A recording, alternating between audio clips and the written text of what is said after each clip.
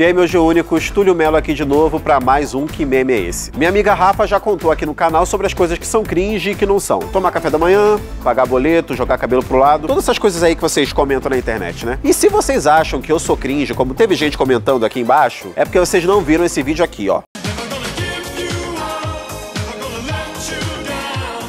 Mano, olha esse cabelinho, cara.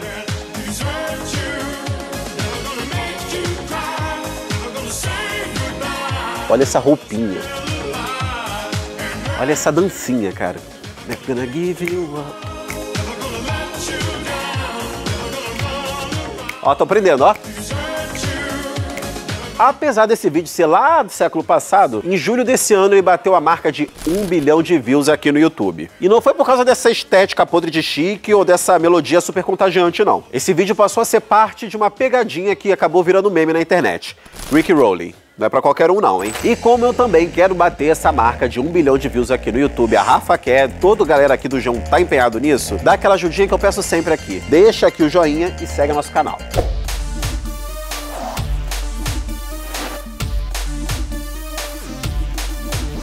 Esse carinha super estiloso que aparece aí no vídeo é o britânico Rick Astley, responsável por esse ícone dos anos 80 chamado Never Gonna Give You Up. Esse foi o single de estreia do cantor e ficou por meses no topo das paradas do mundo. Entre 1987 e 93, ele lançou quatro álbuns, mas nenhuma das músicas conseguiu o mesmo sucesso. Com isso, ele acabou largando a carreira em 1993. Ele até tentou um revival ali pelos anos 2000, mas não teve muito sucesso não. Quando o mundo e até ele mesmo achou que ele estava esquecido, a internet, essa terra de ninguém que a gente ama e odeia, deu uma alavancada na carreira dele de novo. Tudo isso por conta de uma pegadinha que acabou bombando lá em 2008 e acabou virando um meme conhecido como Rick Roll. A pegadinha era o seguinte: as pessoas mandavam um link acompanhado de um título bem sensacionalista, tipo vídeo do que meme é esse do G1 bate um bilhão de views no YouTube. Receba, senhor, se for da tua vontade, o teu filho tá preparado. Mas vocês também têm que ajudar, né? Deixe seu joinha aqui e segue a gente, na moral. Só que esse link, em vez de mandar para um daqueles sites que a gente conhece bem, que são financiados para produzir conteúdo falso, levava pro vídeo do Rick Astley no YouTube. A brincadeira surgiu em 2007, 20 anos depois do lançamento do videoclipe, numa das camadas mais profundas das interwebs, o 4chan.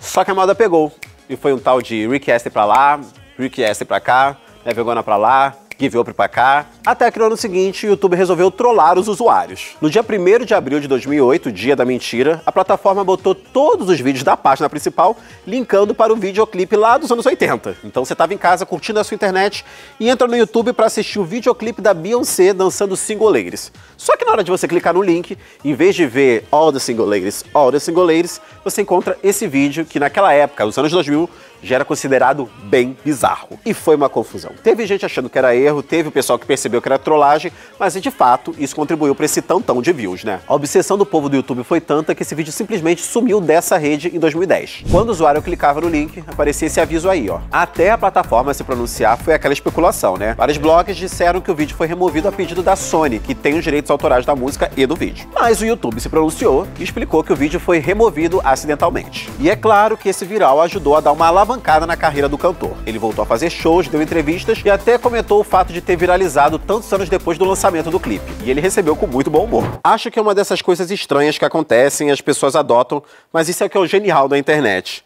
Minha preocupação é que a minha filha não fique com vergonha por isso. No fim das contas, o meme ajudou o cantor a voltar a viajar o mundo. Em 2008, num desfile de ação de graças em Nova York, o cantor apareceu do nada no meio de uma das atrações de um dos carros alegóricos, cantando esse hino. E em 2012, ele foi a atração principal do YouTube Fest, que rolou na Espanha e que reunia os principais ícones da internet daquela época. Mas vocês já tinham visto esse vídeo? Acharam cringe ou acham que os anos 80 deixaram um bom legado para as novas gerações?